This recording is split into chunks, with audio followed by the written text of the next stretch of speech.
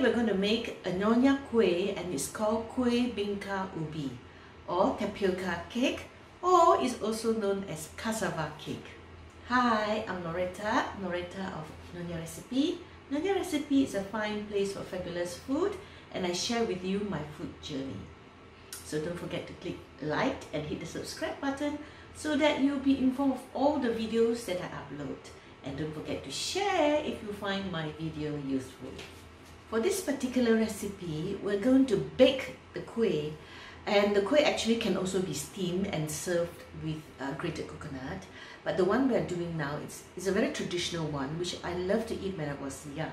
So let's go and see how we make this kueh. And for this type of kueh, since I'm not in Malaysia, I'll be using uh, frozen ingredients instead of fresh because then it's easier to get hold of. And I'll be using canned coconuts, but you can use freshly squeezed coconut milk. I'm using a pack of tapioca and it's called cassava. So this is about one pound, which is 454 grams. You can cook this in a pot.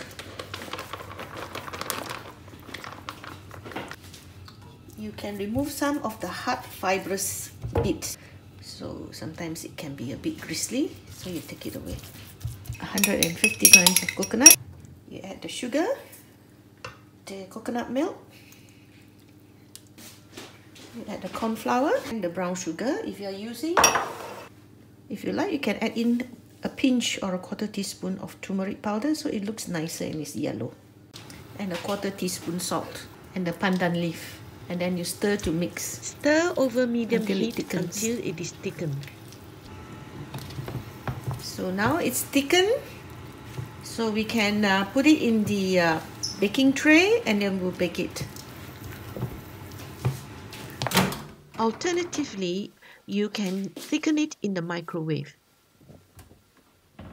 Two minutes. Start with two minutes and then take it out and stir and return to the oven for another one to two minutes. And you repeat until you get a thick mixture. So let's see. So it's quite thick now. So I think this is okay.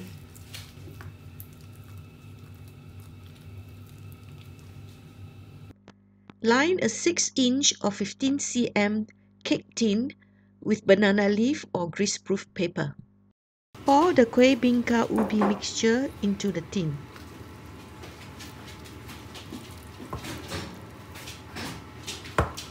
Remove the pandan leaf.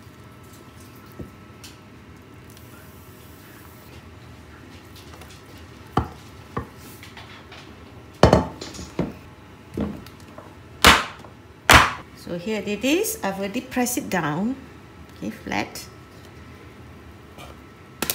Make sure there's no gaps. Coconut oil on top instead of butter. Just crumble it. Uh, just crumble a bit. Okay.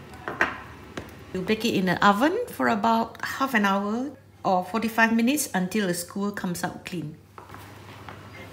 Here we are it's done now so it's lightly brown. Leave it to cool for about at least three to four hours or overnight. So this is the tapioca cake which I've cut into little squares and I really like them with uh, my tea and coffee.